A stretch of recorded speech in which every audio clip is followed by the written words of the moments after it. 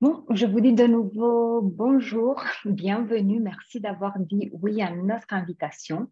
Euh, juste pour cadrer un tout petit peu les choses. Le but de cet atelier n'est pas de faire euh, un transfert de savoir-faire à proprement dit, donc ce n'est pas vraiment une formation, mais le but est plutôt de vous faire découvrir notre modèle de personnalité que nous proposons, de vous faire connaître euh, quelques-unes de ses spécificités, de ses particularités, pour que vous puissiez juger pour vous-même comment il pourrait enrichir votre activité. Euh, je suis Catalina, la représentante persologue en France. Euh, même si j'écorche la langue de Molière, euh, je vous assure que je parle couramment le langage d'ISCA. J'utilise ce modèle depuis plus de dix ans dans, ma pratique, dans les accompagnements de type formation, coaching d'équipe, coaching individuel que je propose et avec de beaux, beaux résultats. Euh, si vous êtes venu ce soir avec l'espoir de pouvoir faire quelques petites choses à côté, un peu de écrire quelques mails, faire un peu la cuisine, désolé, ça va pas être possible, hein. euh, parce que je compte sur vous qu'on fasse euh, ce petit atelier le plus interactif possible. L'idée n'est pas du tout de partir, de partir dans du descendant. Je vous invite en fait à une petite heure d'échange, de découverte et de jeu. Bon, bah, c'est parti. Avant tout, j'aimerais savoir quelques petites choses sur vous. Raison pour laquelle je vais vous mettre tout de suite euh, dans le chat un lien qui vous amènera vers une activité. Tout ce que vous avez à faire, c'est de cliquer dessus et de mettre euh, un pseudo, de préférence votre prénom. Euh, ça va simplifier les choses. Hein. Et entre-temps, moi, je regarde qui a pu se connecter. Je vais me mettre aussi rapidement en partage d'écran juste pour euh, dire ce qu'il y a à faire et comment le faire. Et si jamais vous n'arrivez pas à vous connecter, il n'y a rien de grave, ce sont juste trois petites questions, donc vous pouvez très bien mettre la réponse dans dans le chat ou répondre de vive voix. Alors, comme j'ai déjà dit, trois petites questions pour vous. La première, quelle est votre activité principale? Euh, Plutôt la formation, plutôt le coaching, le bilan de compétences ou le recrutement. Et pour répondre à tout ce que vous avez à faire, c'est de déplacer le petit bonhomme qui a votre prénom à droite et le mettre dans la case où euh, se retrouve la réponse dans laquelle vous vous retrouvez le plus. Donc, j'arrête le partage pour vous, vous laisser faire. Ah, le truc. Euh, ah mince, qu'est-ce que je fais? Je vois qu'il y a une belle rencontre des formateurs ce soir. Ah, bah, pas, pas, mal de coachs aussi. Ok. Et Laura qui est dans le recrutement. Ok, merci, merci beaucoup. Euh, deuxième, et aussi bilan de compétences. Ah bah, je me disais, il n'y avait personne pour les bilan de compétences, mais s'il y en a. Deuxième question. Connaissez-vous déjà le modèle DISCA euh, On a quatre options de réponse de nouveau. Non, c'est complètement une découverte. J'en ai entendu parler. Je l'utilise déjà, mais sans être certifié. Et je suis déjà certifiée DISCA. Ça va me permettre en fait de savoir euh, à quel niveau il est nécessaire d'expliquer le modèle disque de base ou si on peut partir directement vers les particularités du, modèle. Je vois aussi entre-temps sur le chat euh, Hélène qui nous dit je découvre. Alors vous êtes au bon endroit.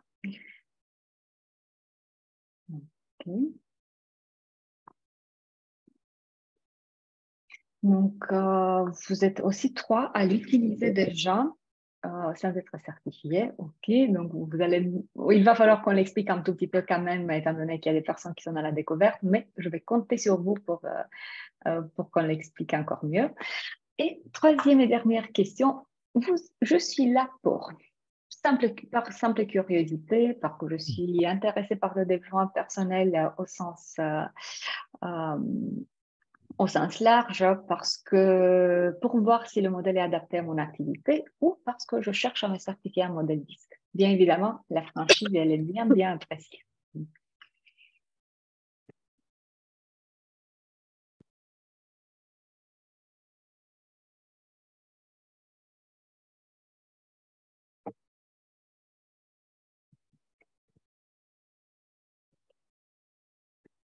Merci. Merci beaucoup pour, euh, vos réponses. Euh, j'espère bien que tout le monde va trouver euh, une petite partie de, plaisir et d'information dans, ce qu'on va faire ce soir. Alors, Discutons un tout petit peu de disque et de, de l'histoire de notre petit modèle. Bien évidemment, on ne va pas entrer dans beaucoup de détails, mais c'est juste pour cadrer un tout petit peu les choses. Donc, je vais me remettre un partage d'écran. Quand on parle de notre, euh, notre modèle de personnalité, euh, on parle en fait d'un kit d'outils qui propose à la fois, euh, donc, qui, sont, qui vise l'identification du style de personnalité, du style de comportement de la personne, mais aussi le développement. On ne s'arrête pas tout simplement à l'évaluation, on va au-delà. pour la toute petite histoire, elle commence avec le modèle la parution du modèle DISCA. Qui, euh, on parle du modèle DISCA à partir des années 1928 euh, hein, avec le livre écrit par le psychologue américain William Walton Marston, Emotions of Normal People, émotions des gens normaux, qui euh, décrit les quatre dimensions comportementales de base, dominant, influençant, stable, consciencieux. En fait, la préoccupation de Marston a été de trouver des des actes d'amélioration, des pistes d'amélioration aussi pour les personnes qui n'avaient pas nécessairement des déviations comportementales. C'est plutôt sur ça que la, psychologie classique euh, se penchait en ce moment-là. Lui, il a franchi le cap vers et le comportement des personnes qui n'ont pas de troubles comportementaux. Qu'est-ce qu'on peut faire dans ce sens-là?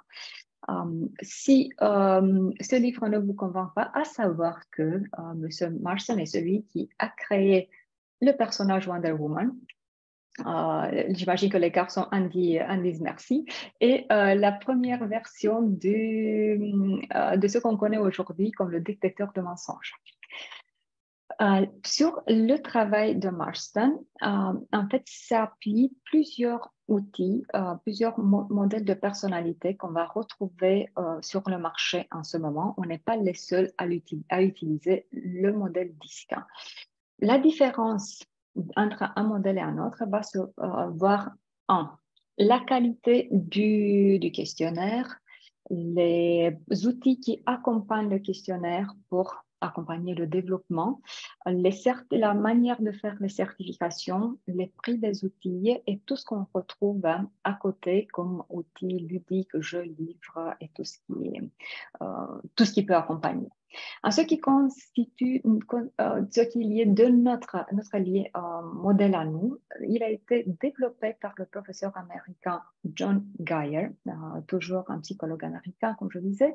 C'est lui qui a fait des recherches pour voir les possibles combinaisons entre les quatre dimensions d'ISCA, parce que mettre les gens dans quatre cases, je ne sais pas si c'est ça le but. Hein.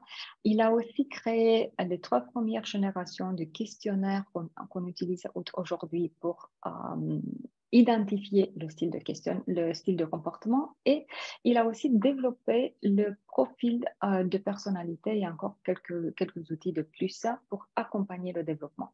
Et à partir de, des années 90, Persologue Allemagne a amené dans l'Europe et a démocratisé euh, l'outil. Maintenant, nous sommes, nous sommes présents dans, en 25 pays, les outils sont traduits en 25 langues. Donc, euh, Persologue Allemagne a donné cette présence internationale euh, on continue à travailler sur l'amélioration continue des, euh, le développement continu des outils. Donc, chaque année, il y a des nouveautés ou des révisions des, outils. Et aussi, on a rajouté d'autres modèles comme le modèle de gestion de temps, gestion de stress et résilience. Mais aujourd'hui, on va se focaliser juste sur le modèle de personnalité. C'était juste à savoir qu'est-ce qu'il y a à côté. Donc, euh, cela étant dit, ce soir, je vous propose qu'on voit les choses de deux angles. D'un côté, on va s'arrêter un tout petit peu sur le modèle disque, donc les quatre comportements, euh, les quatre dimensions de base. Et ensuite, on va passer vers les particularités de notre modèle à nous. Euh, pour décrire le modèle, je vais m'appuyer aussi sur vous. Vous allez voir pourquoi c'est vraiment très simple qu'on le décrive ensemble. Donc, quand on parle du modèle DISCA, on parle en fait de la réponse à deux questions. Comment je perçois l'environnement et comment je réponds face à cet environnement? On peut percevoir l'environnement de manière favorable euh, défavorable ou favorable. Ça veut dire quoi concrètement? Si je le perçois de manière défavorable, c'est que je pense en termes de défis, de risques. Je m'attends à ce qu'il y ait des obstacles dans mon chemin.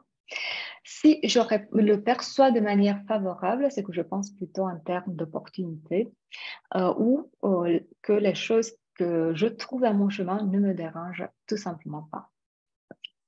Comment je réponds face à cet environnement C'est la deuxième question. Et je peux répondre de manière décidée ou réservée. Ça veut dire quoi? Euh, Si je réponds de manière déterminée, euh, ça c'est l'environnement, ça c'est moi. Si je réponds de manière déterminée, c'est que je me perçois comme plus forte que l'environnement.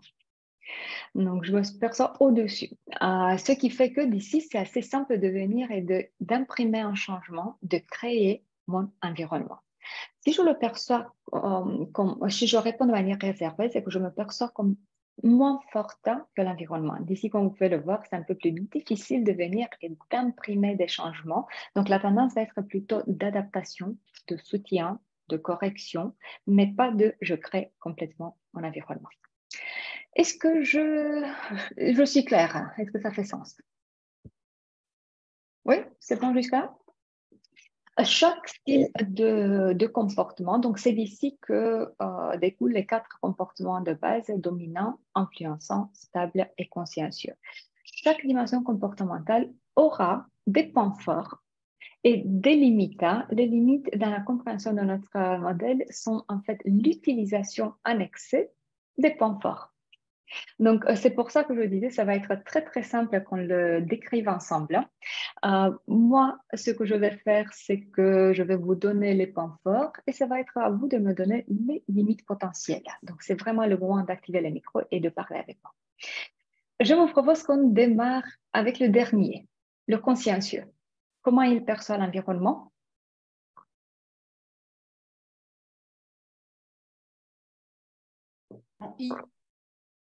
Je dirais.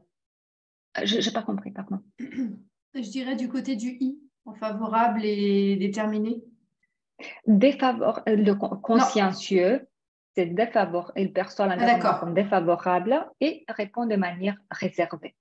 Donc, ce qui fait que euh, quand on manifeste ce genre de comportement, on est assez penché vers le résultat, vers la tâche, vers ce qu'il y a à faire euh, avant, donc on va privilégier plutôt ça et non le côté amusement, plaisir. Autrement dit, euh, on va être assez concentré de bien faire ce qu'il y a à faire. En fait, vous pouvez effacer ça. Très bien faire ce qu'il y a à faire. Euh, donc, dès qu'on manifeste ce genre de comportement, on va être très orienté vers la précision, vers la méticulosité, vers les détails. Si le résultat doit être 0,02 et qu'on est arrivé juste à 0,01, bah, on s'achange et on continue jusqu'à ce qu'on arrive à 0,02. Et ne me regardez pas comme ça parce que les détails, c'est important. Euh, ici, on va se retrouver aussi avec un style très analytique. Hein. Euh, on est dans l'analyse des causes, des options avant de passer, euh, de passer à l'action. Et avec un penchant pour tout ce qui est respect de règles, normes, standards. Si on n'a pas de règles et de normes, qu'est-ce qu'on fait?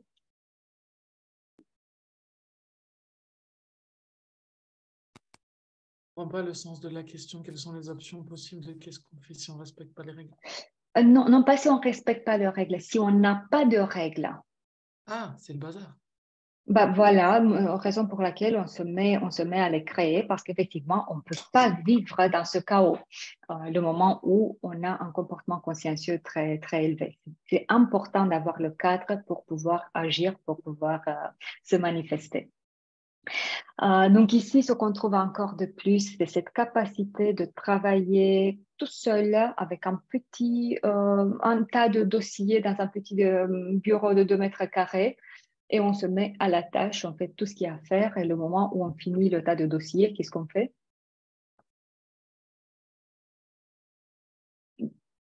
De nouveau, quand je pose la question qu'est-ce qu'on fait, c'est dans le cadre de je manifeste un comportement de type consciencieux.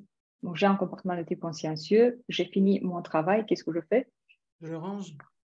Je range, je demande un autre tas de dossiers parce que effectivement, on est ici pour travailler, pas pour boire des cafés. Que lui voyez-vous comme potentiel limite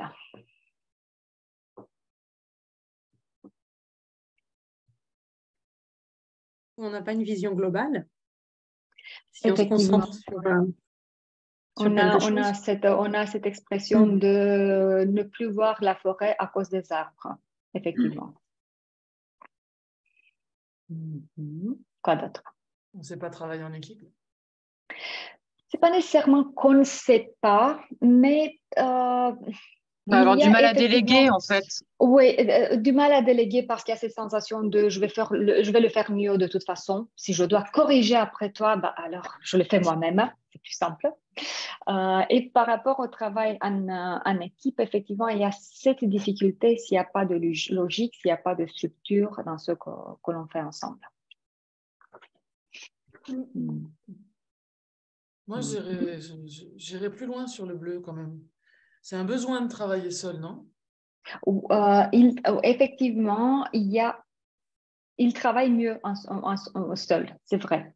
Pourquoi? Parce que euh, la personne qui manifeste un comportement consciencieux fort aura le besoin de faire les choses parfaitement et, parfois c'est plus simple de le faire dans son rythme mm. que de se caler sur les rythmes des autres et de devoir mm. convaincre tout le monde qu'il faut le faire comme ça. Mais c'est du perfectionnisme, plus, mm. plus. Mm-hmm. Ouais. Ce serait une limite du coup. Ça peut être effectivement une limite. Pourquoi? Parce que ça devient très chronophage. Quand on essaye tout faire très très bien, bah, ça, demande du temps. Et aussi, il y a une sorte de fatigue parce que quand euh, la capacité de, faire la différence entre quand est-ce que quelque chose doit être fait parfait et quand, est-ce que bien ça suffit, je ne parle pas d'un travail bâclé, mais bien, quand est-ce que bien ça suffit, euh, bah, alors forcément, ça va entraîner une grosse fatigue. Mais euh, excusez-moi, moi ce que, je, vois plus, c'est que c'est freinateur pour la dynamique du groupe.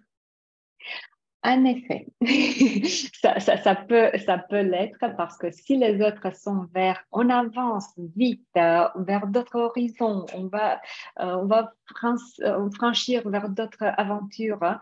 Ici, on va être dans, la prudence, dans l'analyse, s'assurer qu'on a annulé les risques hein, avant de, de passer. Vous lui voyez quelque chose d'autre comme limitable par rapport à au relationnel. Comment croyez-vous que, que, se situe ce, comportement? Les échanges sont totalement liés sur les tâches. Qu'est-ce qu'il y a à faire, qu'est-ce qu'on doit faire, comment on doit le faire, mais pas sur qui tu es, qu'est-ce que tu fais, qu'est-ce que tu qu'est-ce que aimes, qu'est-ce que tu n'aimes pas, et encore moins moi-même. Oui, effectivement. Je ne veux pas du tout parler de moi. Donc, on reste, on, reste, on garde la distance, surtout jusqu'à ce qu'on trouve que c'est judicieux de le faire. Et euh, le, relationnel plutôt lié à la tâche, mais plus que ça, le relationnel qui n'est pas lié à la tâche est vu comme euh, le petit gâteau qu'on va prendre hein, le moment où euh, on a fini tout ce qu'on a à faire. Et quand est-ce qu'on finit tout ce qu'on a à faire? Presque jamais. je me souviens, euh, j'avais, animé une formation euh, pour une équipe commerciale. C'était les garçons de, de l'équipe commerciale et les filles du service après-vente. Et une des filles, après avoir discuté pendant deux jours de l'importance de la relation, comment la construire, comment l'entretenir, à un certain moment, elle peut plus, elle explose. Mais écoutez, moi aussi, j'aimerais sortir et prendre des cafés avec mes collègues, mais moi, je n'ai pas le temps. Voilà. Euh, il y a encore plein de choses à dire, mais je vous propose qu'on se déplace vers l'influençant. Donc, cette fois-ci, l'environnement, il est perçu comme favorable et je réponds de manière décidée. Euh, donc, je vois plutôt des opportunités et je crois que je peux influencer les autres. Ce qui fait qu'ici, je me retrouve avec un style plutôt dans l'optimisme, euh, dans l'enthousiasme. C'est assez facile de dénicher ce style-là parce qu'en termes de langage, tout est génial, merveilleux et magnifique. Vraiment, je vous dis, euh, vous n'avez jamais vu un modèle pareil. Euh, beaucoup dans la spontanéité. Ici, on réfléchit plutôt entre les oreilles et la bouche. Hein. Euh, sa qualité la plus grande, c'est cette capacité de relationnel, hein, de créer des relations rapides et d'entretenir des relations euh, et de convaincre les autres.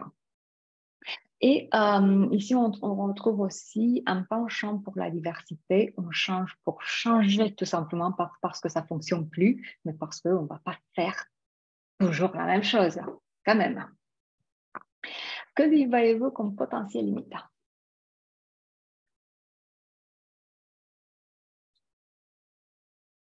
Bazar, il y a trop d'idées. Ben voilà, parfois trop d'idées, à force d'avoir euh, beaucoup d'idées, on peut s'éparpiller. Et d'idéaliser un petit peu les choses aussi. Oui, donc il y a optimisme et ensuite il y a un peu trop d'optimisme, de ne pas voir vraiment les risques, les obstacles, de ne pas faire l'analyse hein, et parfois de louper une partie de la réalité. C'est aussi, euh, j'ai vécu ça pendant des années avec, euh, avec mes collègues du, du commercial, vendre tout peu importe dans quelles conditions. Et ensuite, ceux qui étaient dans la production, ils devaient bah, débrouiller. Oh, mm. Se débrouiller, tout simplement. Mhm.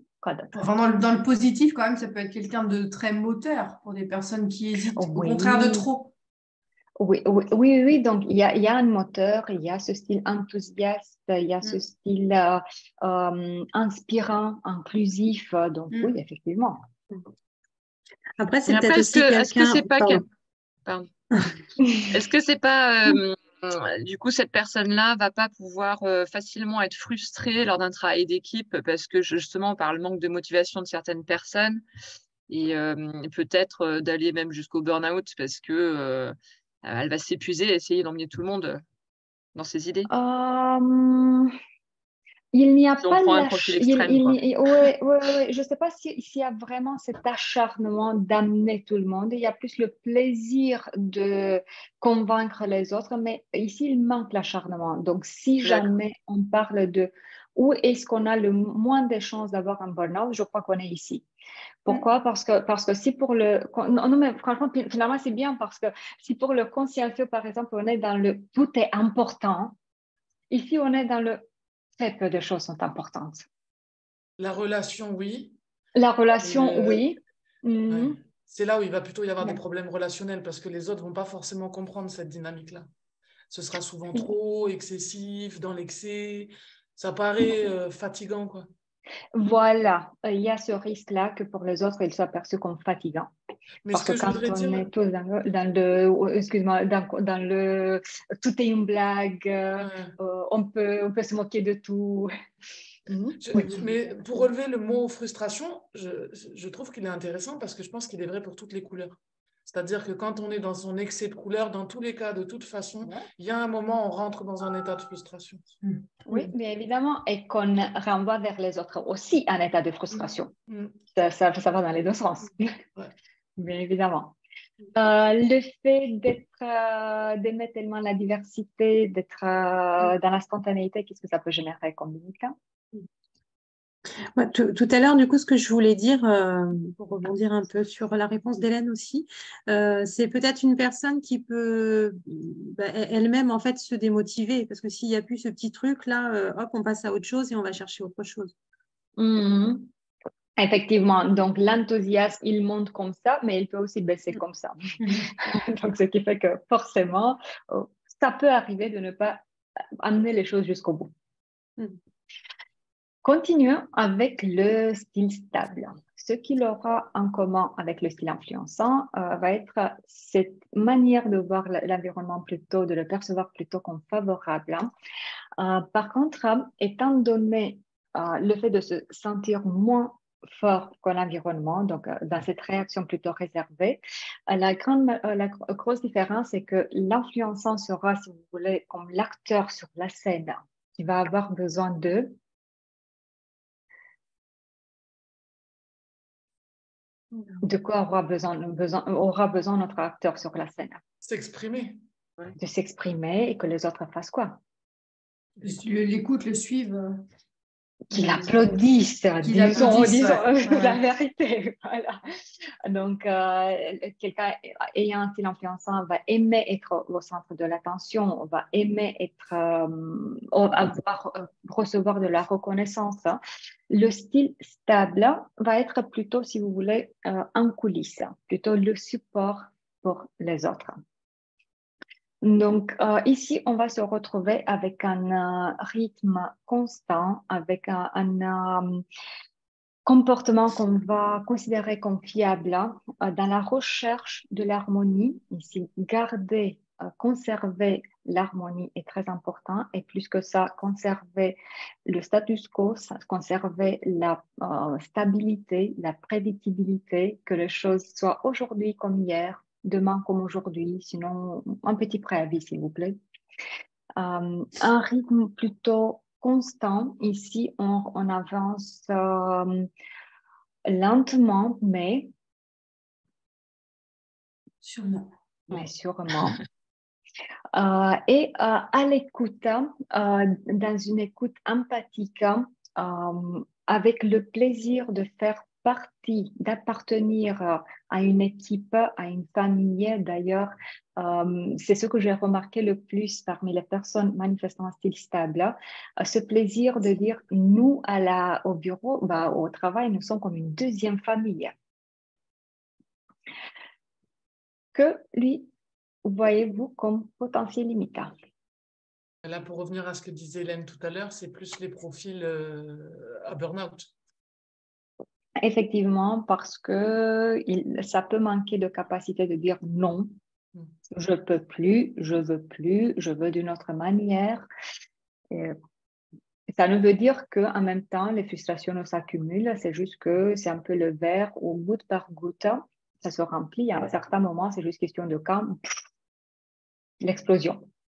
Que personne ne comprend parce que l'explosion, aux yeux des autres, est liée à la dernière goutte, mais non, c'est jamais lié à la dernière goutte c'est tout ce qui s'est accumulé. Est-ce qu'il y a vraiment une personnalité qui est plus à risque pour les burn-out? Um, Burnout, oui, en effet, consciencieux stable ou le mélange consciencieux stable, oui, ça peut, il peut y avoir plus de risques parce qu'il va manquer cette capacité de s'affirmer, de défendre son point de vue. Et si, je, peux, si je peux me permettre, euh, je le confirme, Euh, de façon personnelle parce que je suis en fin de reconstruction après un burn-out et euh, clairement, euh, moi, je me retrouve, je me retrouve un peu dans les trois couleurs, mais le bleu serait dominant et le vert ensuite. Et clairement, clairement, c'est pour moi le bleu qui m'a plus apporté, enfin, emmené vers le burn-out. Euh, mais en même temps, on est, on est bien d'accord que ce n'est pas seulement le style de comportement qui favorise, c'est aussi tout ce qui se passe dans l'environnement. Ah oui, c'est finalement, euh, dans un environnement où on peut se, on s'épanouit, bah, même avec ce style de comportement, ça, ça, peut passer très bien. Tout à fait. Euh, revenons au style stable. Que lui voyez-vous de plus comme potentiel? Limite C'est peut-être aussi quelqu'un qui n'aime pas le conflit pour le coup. Oh, vous croyez? Effectivement, quand on, fait, euh, quand on veut avoir de l'harmonie, ben, on fait tout pour euh, conserver l'harmonie. Donc, il y aura cette tendance de fuir même les conflits. Hmm.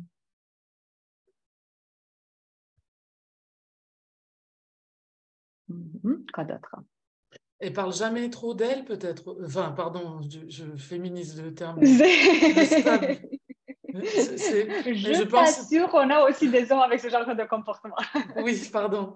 Mais euh, je, je, pense au DRH, c'est des postes souvent où ils vont être beaucoup à l'écoute des autres, mais comme ils ne prennent pas forcément le temps de parler d'eux-mêmes, ben, il y a ce truc où euh, quelque part ça va manquer aussi à un moment. Oui, donc comme je, comme je disais, euh, ici, il n'y a pas nécessairement un, plaisir pour se mettre à l'avant. Donc, ce qui fait que la personne doit vraiment se sentir en confiance. Ce qui se passe, par contre, ce qui est très particulier, euh, particulier pour euh, ce style de comportement, c'est qu'il y a une grosse différence entre quelqu'un manifestant stable euh, quand on est entouré de personnes qu'on ne connaît pas ou quand on est entouré de personnes qu'on connaît et où on se sent en confiance. Et là, on ne reconnaît plus la personne.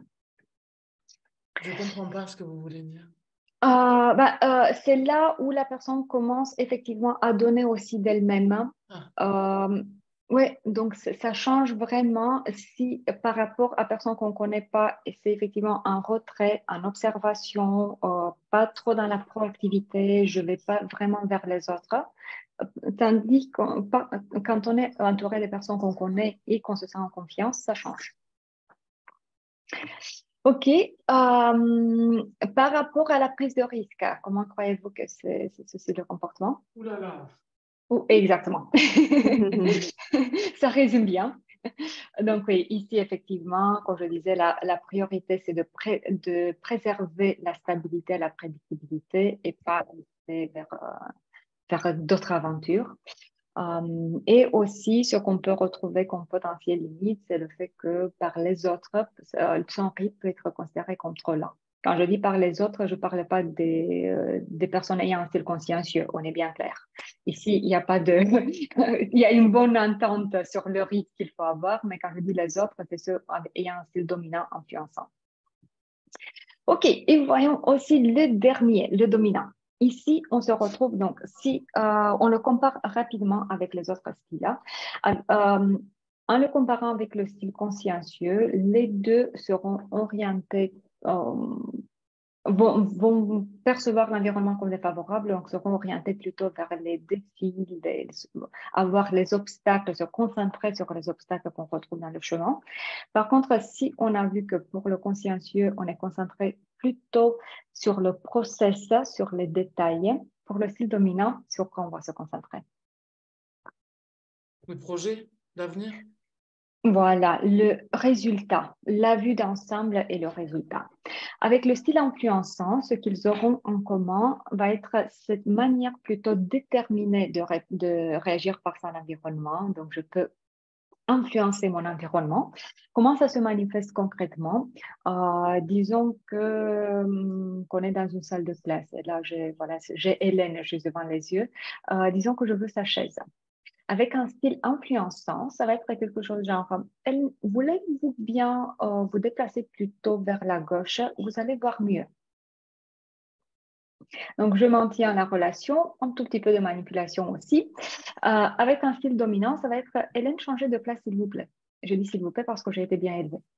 Euh, mais ça va être le maximum de penchant vers l'humain qu'on va, qu'on va retrouver. Pourquoi? Parce qu'ici, on se retrouve avec d'autres priorités, d'autres valeurs. Donc, en, termes de priorité, ici, on se retrouve avec une concentration sur l'objectif. Euh, avec un style plutôt audacieux. On ose, on franchit. Si on tombe, qu'est-ce qu'on fait? Il n'y a même pas de discussion à porter. Euh, avec un style plutôt sûr de soi, déterminé, euh, donc, on, a la direction et on pense ça.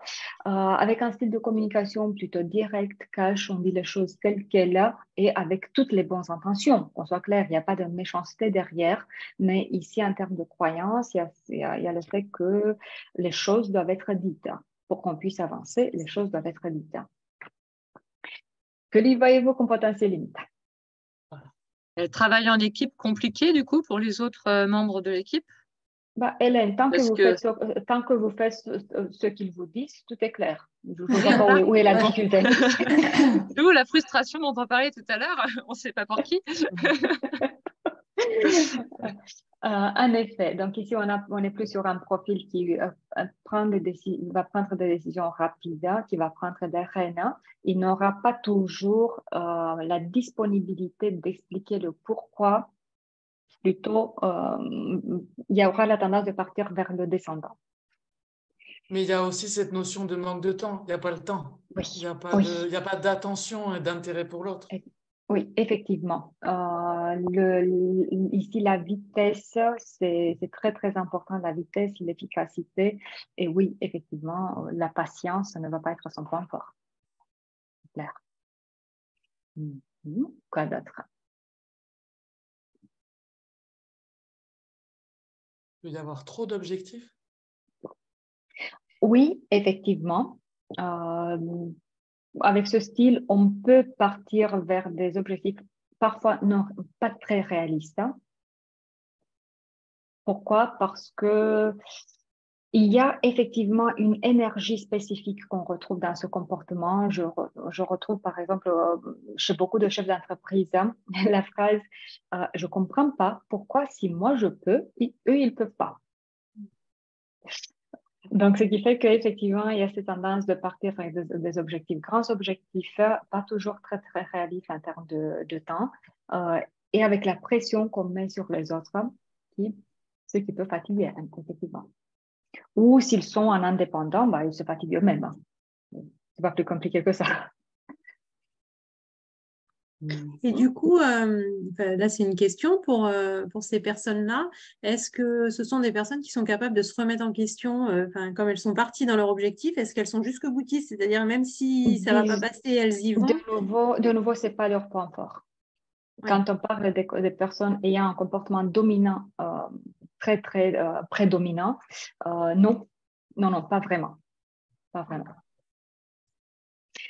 Ok, euh, là, ce qu'on a vu, bien évidemment, c'est la description très succincte. Il y a plein, plein, plein d'autres choses à dire, mais très succincte et de manière très caricaturale des quatre dimensions de base. Euh, y a-t-il d'autres questions? Quand, quand, quand, tout ça, là, c'est repéré Est-ce que c'est spécifique au milieu professionnel ou est-ce qu'on prend la personne dans sa globalité et on, l'imagine, parce que mmh. on, la découpe entre le perso et le pro je, je, peux, je peux répondre à ça en deux minutes? Oui. Parce que ça suivait de toute façon. D'accord. Mmh. D'autres questions?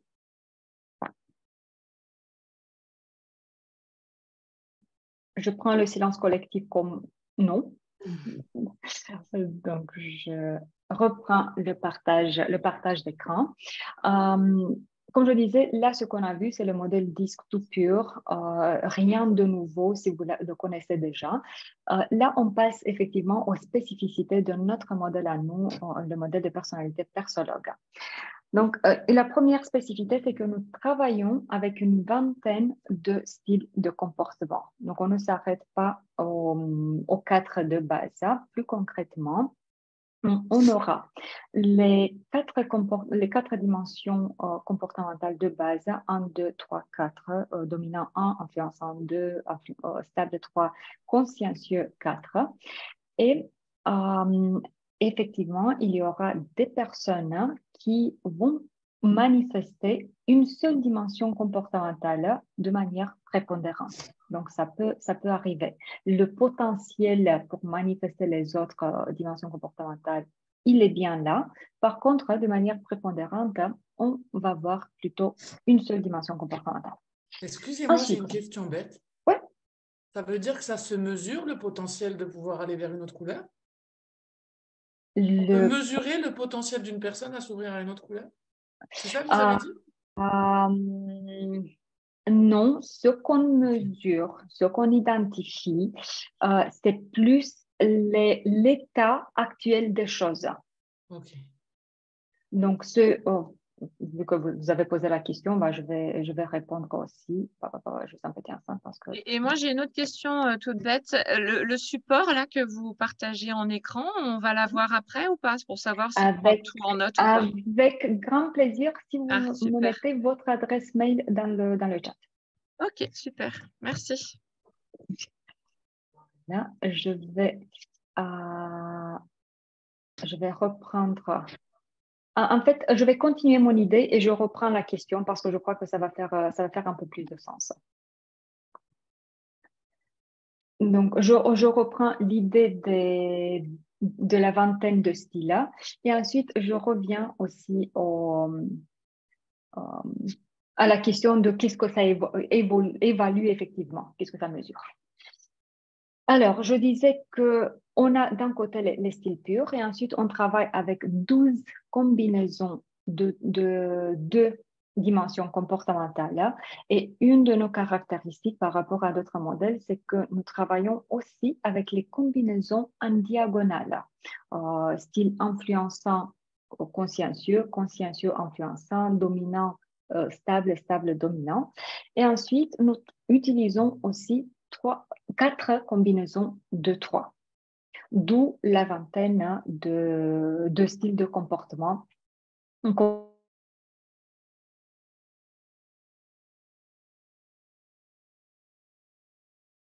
J'entends plus vous? Ah. J'entends plus non plus. Ah, désolé, j'avais appuyé par erreur sur, euh, sur Muta.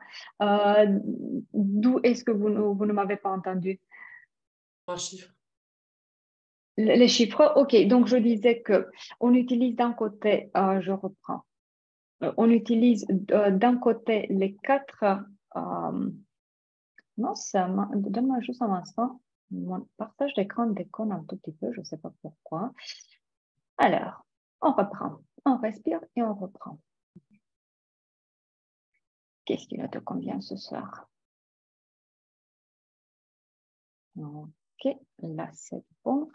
Donc, je reprends du coup le partage de l'écran.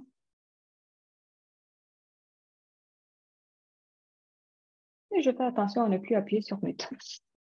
Bon, donc je disais, il y a les quatre dimensions de base. Ensuite, on utilise 12 combinaisons de deux. Et je disais qu'une des particularités de notre modèle euh, est le fait d'utiliser aussi les combinaisons en diagonale, genre influençant consciencieux, dominant, stable. Et, euh, ces combinaisons-là ne sont pas reconnues par tous les autres modèles qui se basent sur les C'est dommage parce que ça fait partie de la richesse de, notre comportement.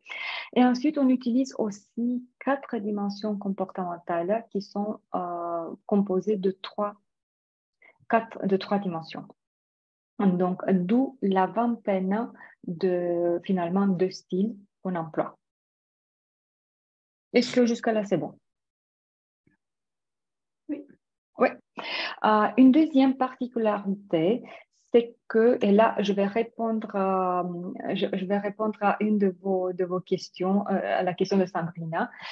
Il identifie le comportement situationnel.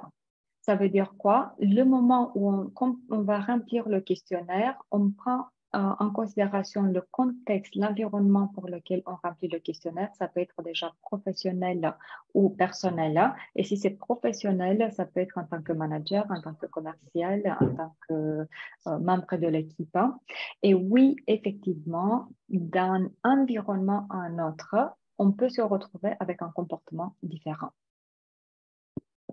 Donc ça, c'est un aspect. Un autre aspect, c'est que chez nous, et ça c'est vraiment très, très important, pas de catégorisation. Euh, on n'est pas dans des, formulations genre je suis dominant, elle est consciencieuse, il est stable, il est vert, il est jaune. Euh, donc, on fait bien la distinction entre euh, identité et comportement.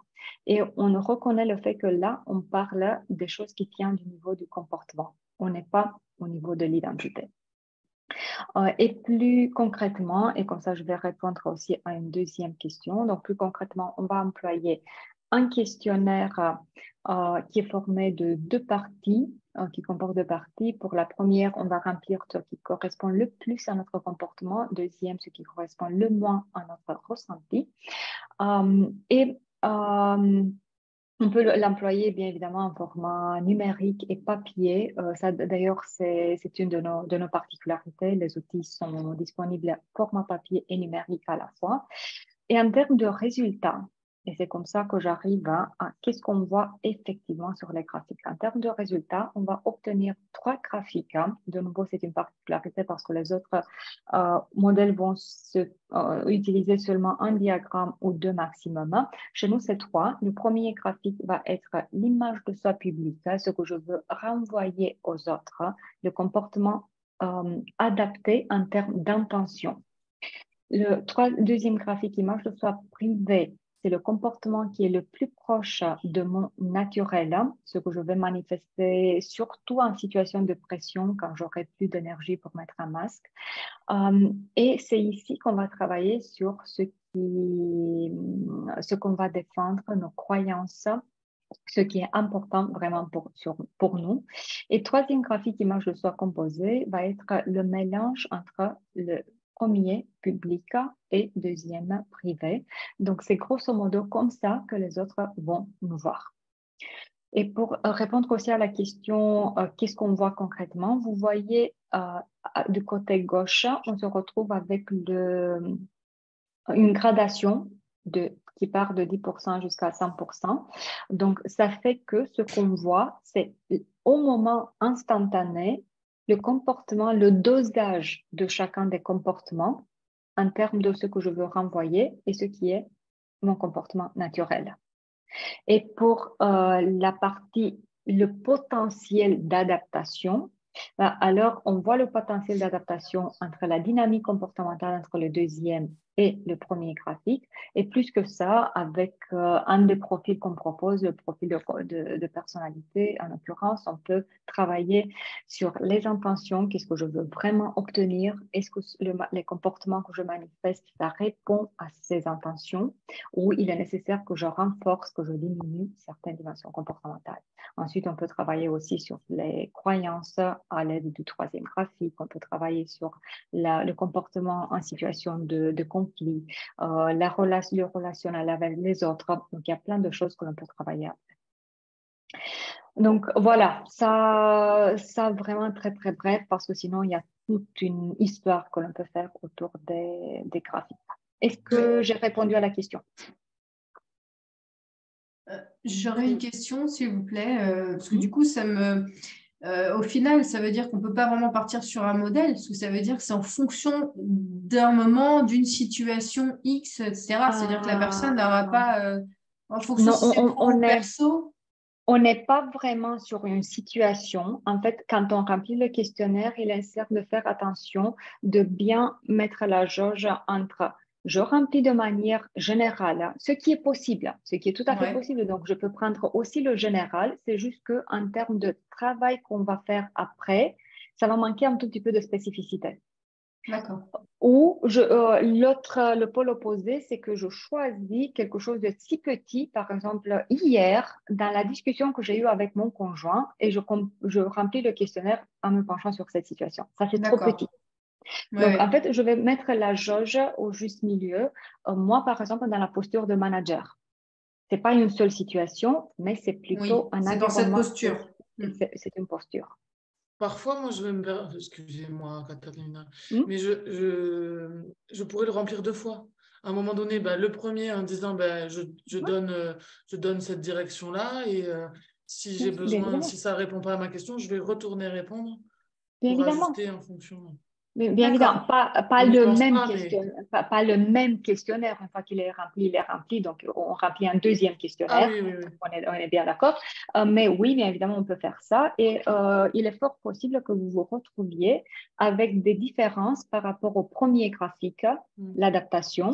Dans le deuxième graphique, il a la tendance d'être un peu plus stable pas à 100%, mais plus stable que, les autres. Et bien évidemment, s'il y a des modifications dans le premier graphique, ça va générer des modifications dans le troisième.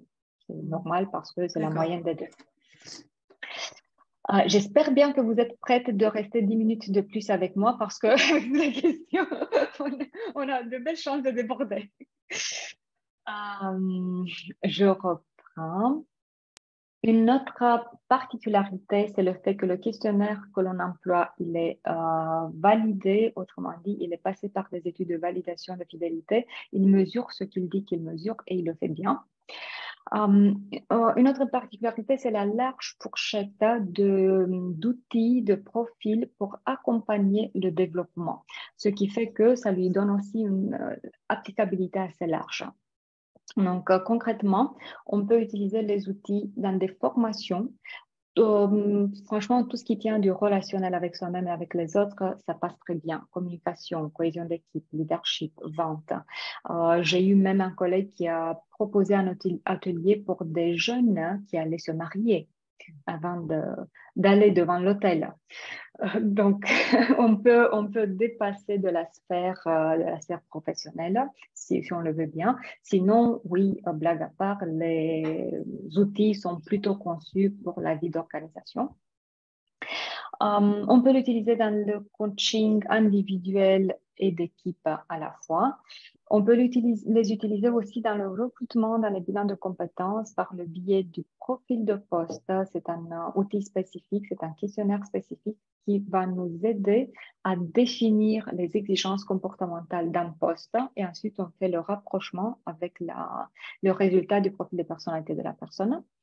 Euh, et juste pour que vous le sachiez au cas où, euh, nous avons aussi un petit profil dédié aux jeunes, donc au profil adolescent pour les 12-17 ans ou bien évidemment le questionnaire il est adapté, la restitution elle est adaptée en termes de, langage et de longueur. Euh, une, autre, particularité, c'est la grande diversité de, jeux et de livres. Nous, on aime, on aime bien le ludique. Hein. Euh, juste pour vous donner quelques petits exemples. Hein. Et on va tester d'ailleurs euh, tout de suite un des jeux. Donc, on peut se retrouver avec des jeux qui nous aident à vérifier la compréhension du modèle ou pour, ou pour accompagner aussi le développement. Donc, personnalité en action, l'arme disque, comportement en action, etc. Euh, on les a en format papier pour le présentiel et euh, on est en train de mettre tout ça aussi sur une plateforme LMS à laquelle, une fois certifié, vous aurez accès pour utiliser lors de vos accompagnements. Ensuite, on a hum, des outils aussi de, de type photolangage, donc des, cartes, euh, des cartes aux images, des livres dont le plus connu, connu et utilisé, c'est la visite de personnalité qui passe en revue les quatre styles par euh, des situations distinctes, genre euh, management, commercial, relation d'équipe, relation de couple, relation avec les enfants. Ça passe aussi dans la sphère perso.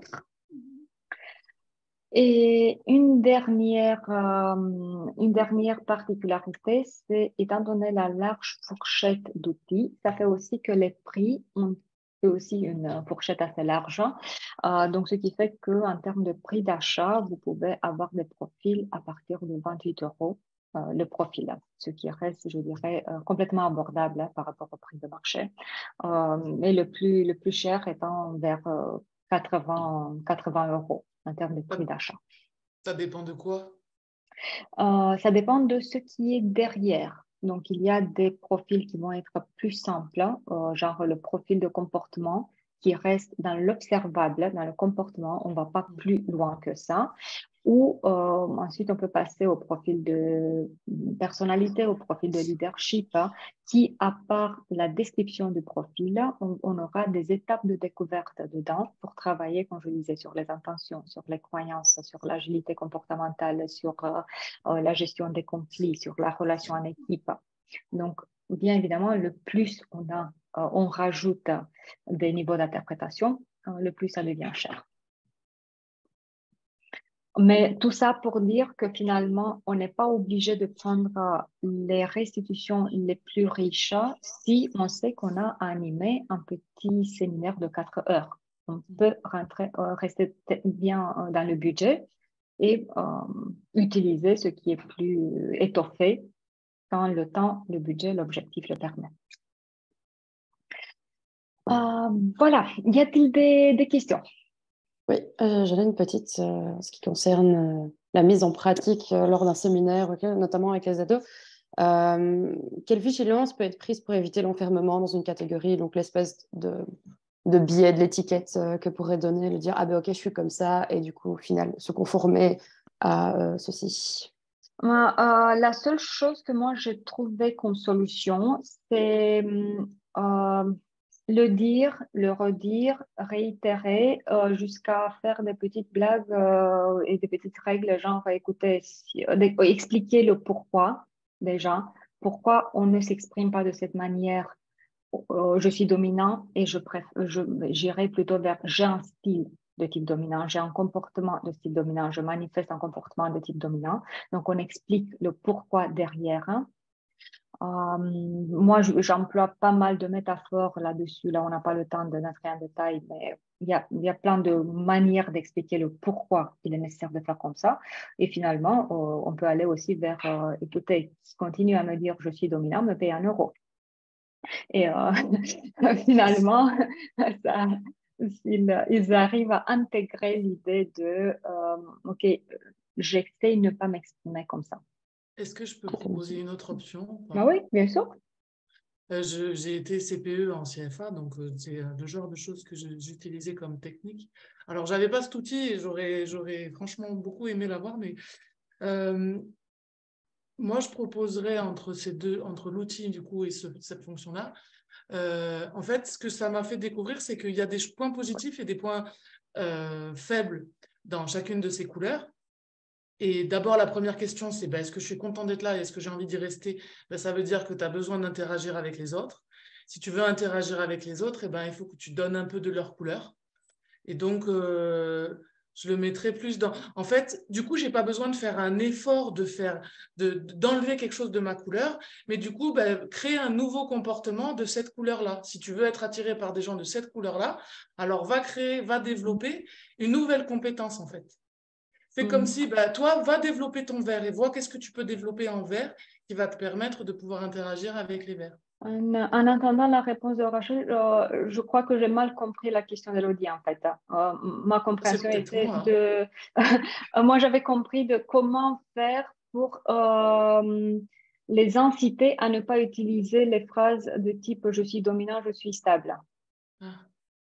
C'était ça ma compréhension. C'est un peu plus nuancé que ça. Je dirais comment éviter l'enfermement dans une dans un type de catégorie suite à voilà, c'est un test de personnalité. Euh, ça a l'influence que ça peut avoir sur une construction de soi, oui, non. l'âge adulte, okay. Ah, ok, ok, donc j'étais dans la bonne direction, moi, c'est bon. donc, euh, euh, donc, il y, a plusieurs étapes. Déjà, je, démarre par expliquer qu'est-ce que le modèle mesure. Il y a un modèle en, qui explique les couches de la personnalité euh, et on explique bien qu'on est sur la couche externe de, comportement. Euh, ensuite, je reviens, je réitère, comme je disais plusieurs fois, l'idée de c'est des comportements. Je, on, on, fait de la distinction entre comportement et identité. Donc, ça se fait en plusieurs étapes, en fait, et beaucoup de vigilance le moment où ils ont cette tendance de se mettre tout seul dans une case, de les, de les inviter à sortir de la case. Mais c'est vraiment un, étape et c'est tout un process.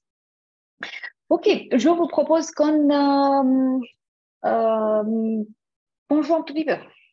Et pour cela faire, j'aurais besoin d'un bénévole ou d'une d'une bénévole. Je vais choisir euh, le jeu personnalité en action. Est-ce qu'en hongrois, ça vous va? En hongrois? En hongrois, en, hongrois, en hongrois. non. Ah oui. Ok. J'explique rapidement ce qu'il y a à faire et peut-être que ça va générer plus de bénévoles. Euh, alors, on a en haut de l'écran quatre cartes avec les, donc on a les, colonnes des quatre styles, dominant, influençant, stable, consciencieux. Côté gauche, on a des critères, attitude face aux, décisions à prendre, gestion des informations, organisation préférée, etc. À droite, euh, on aura des petites cartes qui sont amovibles. Donc, la première chose à faire, ça va être de cliquer sur la carte, de la déplacer un tout petit peu pour qu'on voit le critère qui se met en orange. Ça signifie que cette carte, ça tient de ce critère, mais c'est à vous de décider sur laquelle des colonnes il faut la déposer, auquel des styles ce comportement correspond. Donc, j'ai besoin d'une personne qui bouge les cartes. Et bien évidemment, tout le monde participe, tout le monde aura des idées. Qui veut bien Comme vous voulez, je peux si vous voulez, ça ne me dérange pas. Ok. Euh, Donc, il faut bouger les cartes, c'est ça? C'est ça. Donc, vous déplacez une, une carte, une par une, et tout le monde contribue pour voir où vous la déposez. C'est à vous. Moi, je ne touche plus. Alors, Tout le monde contribue? Je dirais euh, consciencieux aussi. Oui, moi aussi. Moi, je mettrais euh, stable. Alors, deux consciencieux, instable. Ouais. Je resterais sur consciencieux aussi. Mais je ne mettrais pas consciencieux parce que pour moi, le consciencieux, il a besoin qu'on lui crée cet environnement et il reste à l'intérieur de cet environnement. Ah, pas forcément. Je pense qu'il peut être amené à, le créer, cet environnement. Oui, tout à fait à l'installer parce que c'est là-dedans qu'il va évoluer en sécurité. Donc, euh, va vouloir quelque chose de très structuré tout le temps. Euh, et si ça n'existe pas, il va le mettre en place. Bah oui. Donc, ouais, moi je mettrais, ouais, ça me paraît pas mal. J'y vais, vais, comme ça. Alors, par contre, euh, ouais. Bon, d'accord. Alors. Par la voix basse et se met rapidement sous pression. Je mettrais stable. Ouais. Stable aussi. Face à la pression? Oui, parce que le dominant et l'influent ne vont pas parler à voix basse.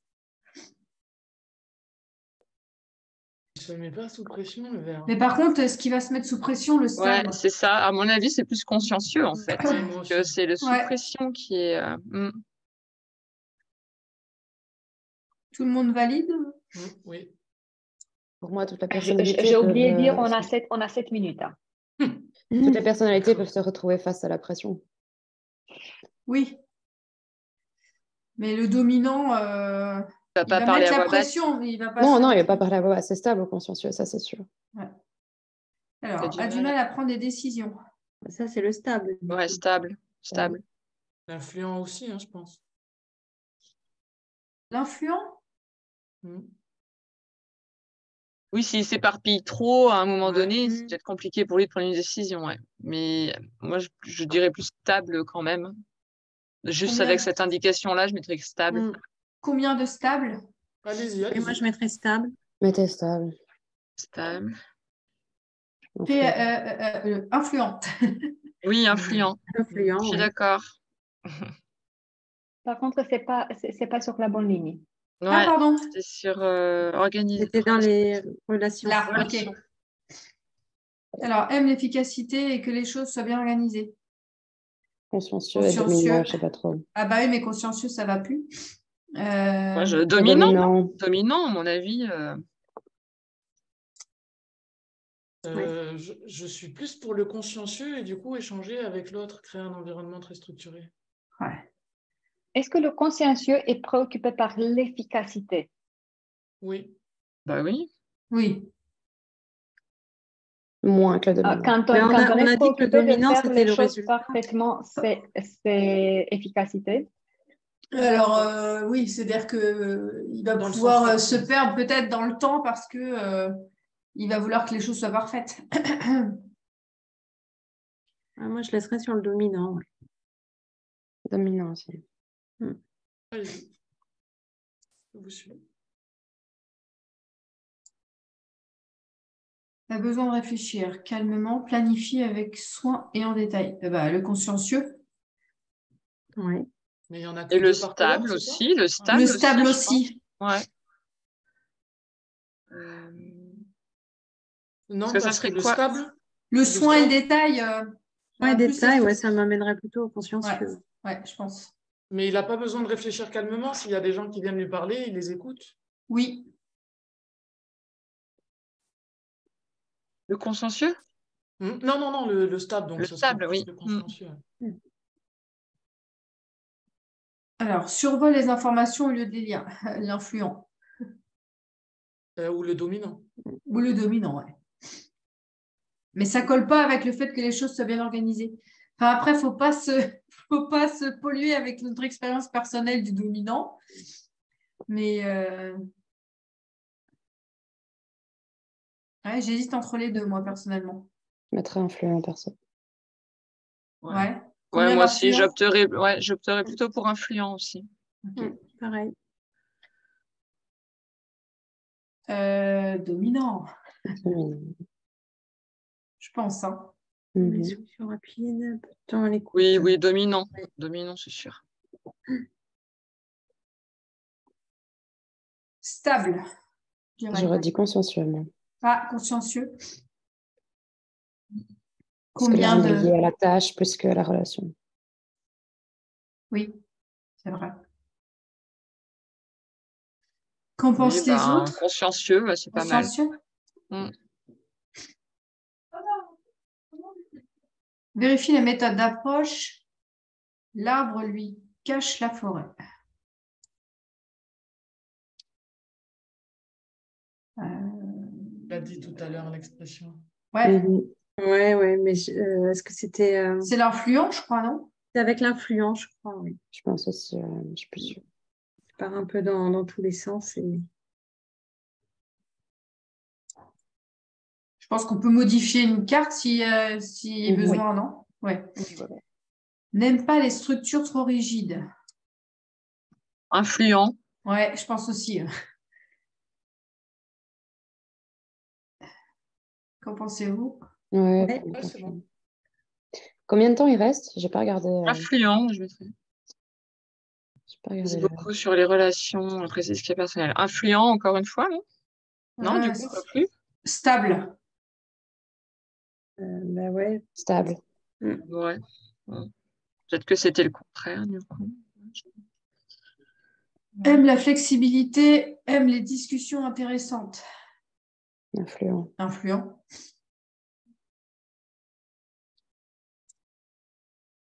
Euh, n'aime pas les informations détaillées. Dominant. oui, dominant, ouais. Dominant. Ouais, d'accord. Analyse avant de s'engager dans quelque chose. Stable. Euh, stable, oui. Mm. Alors, du coup, a du mal à prendre des décisions, plutôt l'influent. Mm. Ou alors le. Bon, c'est pas contradictoire. Hein. Ouais, mais je case il peut être dans l'analyse avant de s'engager, mais en même temps avoir du mal à prendre des décisions quand même. Oui, mais euh, la carte, je dois la mettre sur cette ligne-là, donc ah je ne peux pas la mettre dans le stable. Ouais. Euh, Moi, je dirais consciencieux, analyse. Consciencieux. Pour l'analyse avant de s'engager euh... Paraît décontracté, tolérant, se laisse vite déborder. Influent, mais. Non, bah, je dit le stable. Du coup, on a dit que c'est le stable qui ne savait pas trop dire non et qui était. Euh, ah oui. Ouais, c'est vrai. Et prudent dans ses relations et plutôt formel. Bah, le dominant. Il va être formel. Hein. La notion de prudence est plus consciencieux que dominant, je trouve. Ouais, mais non, parce qu'après, ça augmente son engagement, s'énerve rapidement, à mon avis. Euh, là, ça sera dominant. Donc, euh, prudence dans les relations, là, c'est. Consciencieux mhm. Ouais. Dominant. Oui, voilà, bah je mettrais dominant. Voilà. Au-dessus, non? C'est pas dans relation. Ah non. Ouais. C'est dans relation professionnelle, non? Ouais. Ça? Non, non, c'est bien. C'est là. Non, c'est bon. Ok. Alors, et patient envers les autres, planifie tout pour éviter les surprises. Ah bah c'est stable.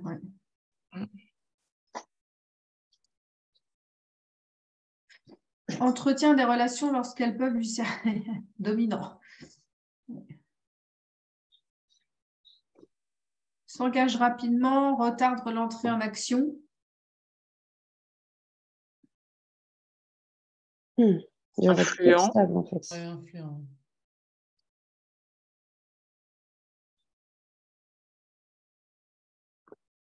Écouter et prendre des notes. Stable. Stable. Veut être en harmonie. Bah, le stable. Mm. Bah oui. Ouais, là, ouais, c'est ça. Ouais. Ça, ça colle. Alors, est-ce est votre dernier mot? Ah, Ça paraît pas mal comme ça. Ouais. Peut-être un au petit switch quelque part. Mais... Ah Il faut les échanger, les deux de gestion de l'information. Ouais, je les échange tous les deux? Ah, oui. Euh, par contre, est-ce qu'on peut. Voilà. Oui, sûr qu'on Ok. Et en bas, je mettrai la, la vérifie la méthode consciencieux. Ouais. Paré décontracté et tolérant. Euh. Bah, c'est influent, à mon avis, c'est influent. Hein. Euh, Celui-là non, non, le paré décontracté. Paré décontracté, je mettrais influent. Oui, oui. Et l'autre, c'était euh, c'était quoi? Euh, Par la voix basse, mais rapidement sous pression stable. ouais, ouais c'est mieux, je pense. En fait, je crois que tu as, changé deux qui étaient sur des lignes différentes. Vérifie la méthode d'approche, ce n'est pas dans la gestion de temps. Mince. Ah oui. L'évaluation, elle va nous le dire. Euh... Je sais plus. C'est avec ça? Je ne me souviens pas des. On, on, vérifie. Ah oui, voilà. Ah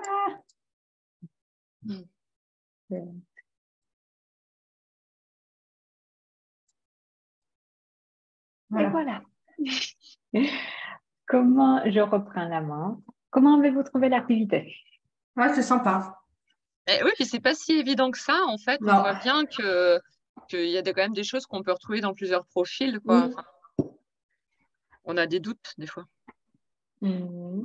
Bon, en même temps, là, on, là, on l'a fait aussi très, très rapidement. Normalement, évidemment, on met plus de temps, on fait un débrief sérieux. Et en plus, même pour ce jeu-là, aussi simple que ça, il, a, il y a une deuxième partie qui passe au niveau supérieur. Donc, chaque, chaque jeu, en fait, est au niveau basique. Et ensuite, dès qu'on a on va, passer, on va monter d'un camp. Ok, voulez-vous savoir aussi, voulez-vous avoir aussi des infos sur la, le format de certification? Mm-hmm. Oui, oui. Ah euh, juste avant, ah. petite question pour savoir combien de temps il reste, parce qu'en fait, je dois partir. Je vois que ça a été le cas de Sandrine oh, aussi. 5, minutes. 5 minutes? Ok, super, merci. En fait, pour le pour la certification, il y a trois niveaux de certification. Le niveau 1, formateur débutant, en fait, ça va donner euh, en termes de savoir-faire, bien évidemment, la compréhension des quatre styles de base, mais avec tous les détails, euh, tous les détails possibles, la compréhension des styles, euh, styles composés, faire une lecture basique des graphiques et animer des ateliers basés sur disque. En termes d'outils auxquels on peut avoir accès, on a le savoir-faire bien évidemment et on peut avoir accès pour l'utilisation, c'est le profil de comportement qui est le plus basique de ce qu'on propose et le jeu personnalité en action qu'on vient de voir. Il, euh, il va être, ce format va être très utile le moment où vous savez que vous allez seulement l'utiliser dans des tout petit séminaire de 3-4 heures, vous ne voulez pas aller plus en profondeur que ça, et alors ce format, ça peut être utile. Pour, ce, pour la formation elle-même, il y a trois modules, quatre, trois modules de 4 heures. Donc, c'est l'équivalent de une heure, un, jour et demi. Euh, toutes les formations se passent en format en ligne synchrone. Pour le niveau 2, euh, il est dédié aux formateurs qui veulent utiliser le modèle de, de manière un peu plus poussée et aussi aux coachs. Donc, cette fois-ci, bien évidemment, tout ce qui était compris dans le niveau 1. Et en plus, une session dédiée complètement à la lecture des graphiques parce qu'on peut faire une lecture vraiment très, très profonde, même au-delà des restitutions que l'on reçoit. Et ensuite, en termes d'outils supplémentaires, l'outil de personnalité, de, un, profil de personnalité que je décris un tout petit peu quand je disais sur quoi on peut travailler euh, euh, plus en profondeur sur la personnalité et un profil dédié leadership. Donc, quand on veut accompagner des managers Et on, aura dans ce cas-là le profil, euh, le descriptif du profil va cibler effectivement la posture de manager. Et ensuite, le travail des étapes de découverte sera vers comment gagner en agilité dans sa posture de, de leader. Euh, et bien évidemment, on va rajouter d'autres, d'autres jeux, d'autres outils qui peuvent être employés. Donc, c'est ce qui fait que pour la formation, on se retrouve lors de six, euh, modules de quatre heures. Et pour le troisième niveau, euh, c'est vraiment dédié aux coach experts. Donc, cette fois-ci, ce qu'on rajoute, on rajoute les rapports de type personnalité en focus où euh, vous allez vous retrouver avec euh, des informations beaucoup, beaucoup plus étoffées, des rapports entre 30 pages et 60 pages. Donc, le moment où on veut vraiment accompagner à longue durée des personnes en individuel. Donc, on ne va pas les utiliser en format formation parce que c'est assez difficile.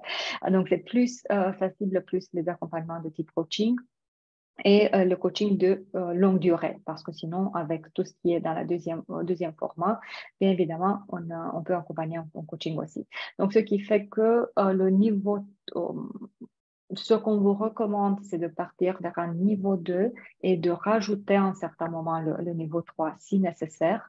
Mais euh, partir directement vers... On, a fait ce séquençage parce qu'on a vu que le niveau 3 tout court euh, donnait trop d'informations. Il y avait cette sensation de trop plein à la fin. Donc, du coup, on a préféré les séquencer. Et pour passer d'un niveau à un autre, bien évidemment, vous payez juste la différence. Euh, c'est pas, par exemple, pour le niveau 2, c'est pas que vous payez ce qui était dans le niveau 1 et ensuite ce qui est dans le niveau 2. Donc, vous payez juste la différence si vous voulez passer d'un niveau à un autre. Euh, par contre, moi, je, suis désolée, je ne vois hmm? pas euh, les prix, justement, parce que le document, il, enfin, il est coupé là, sur mon écran, j'arrive pas à voir. Vous pouvez dire, dire les prix ou du coup? Oui, oui, bien sûr, bien sûr. Peut-être qu'il faut élargir un tout petit peu la fenêtre. le, le, bandeau où il y a les photos, il est peut-être en bas, il faut le mettre ailleurs. Ah, ah oui. Euh, chez moi ou chez, chez Hélène? Chez Hélène. Chez Hélène, ok, parce que chez moi, il n'y a rien. Bah, si vous pouvez dire les ah, prix. oui, bien, évidemment, bien évidemment. Le, le niveau 1, c'est 1490 euros. Niveau 2, 2490 euros. Et niveau 3, euh, 2990 euros. Bien sûr. Euh, peu importe la formule, hein, chaque, euh, chaque format va comporter euh, une session de cadrage d'une heure pour que ensuite, quand on démarre avec le transfert de savoir-faire, les choses soient bien cadrées.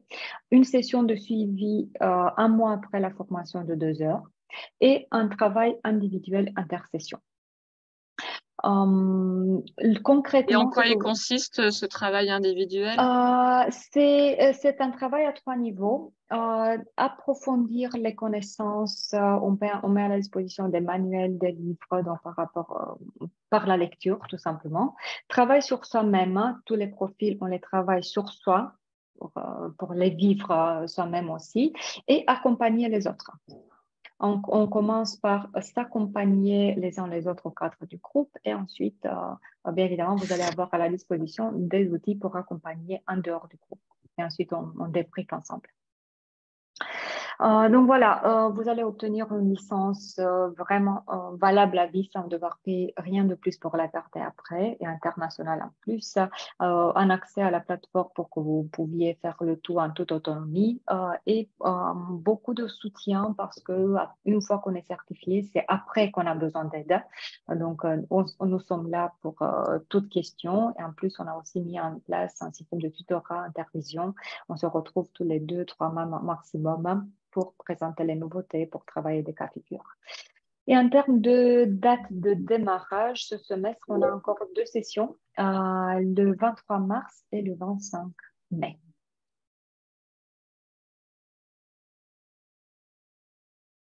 Des questions Comment on fait pour s'inscrire sur ces, sur ces sessions?